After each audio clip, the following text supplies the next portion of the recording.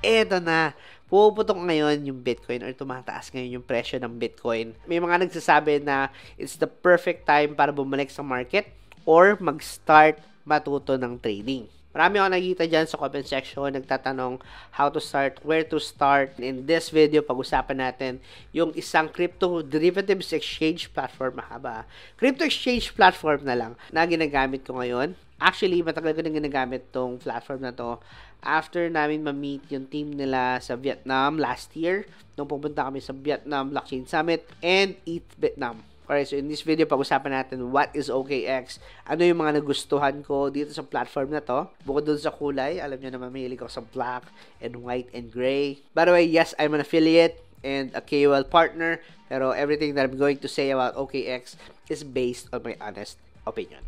Yun, meron ako mga OKX merch dito, and then may shirt pa ako dyan. If you're interested, pamibigay ko ba to? Isa lang to eh. Sa ito, shirt. Okay? So, if you're interested, make sure na watch till the end. Yan, sabi dito, faster, better, stronger than your average crypto exchange. Yan, so they're one of the biggest crypto exchange platform then one of the top, one of the biggest crypto exchange platform. Currently at number 3 sila, top 3. Ito yung mga partners nila, Claret, wait lang, yan, so flex ko lang yung McLaren, McLaren cap ko. Yan, so nakuha ko siya sa token 2049. They are the biggest sponsor or partner ng token 2049.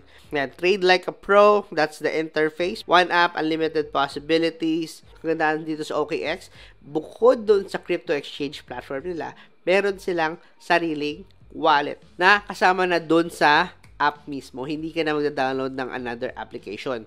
Pwede mong ilagay doon yung mga hinuhold mong crypto so hindi mo itine-trade. And syempre, lalagyan mo ng mga NFTs mo. It's available sa Android and iOS desktop application and syempre via Safari or Google Chrome doon sa mga naka-Windows PC. Another thing that I like dito sa OKX is almost lahat andito na ng features na kailangan mo para kumita. Meron silang staking, launchpad, also beginner friendly. Andito rin yung copy trading Okay? Para sa mga beginners na hindi pa kaya mag-trade ng ganun ka pukpukan. Alam mo yan?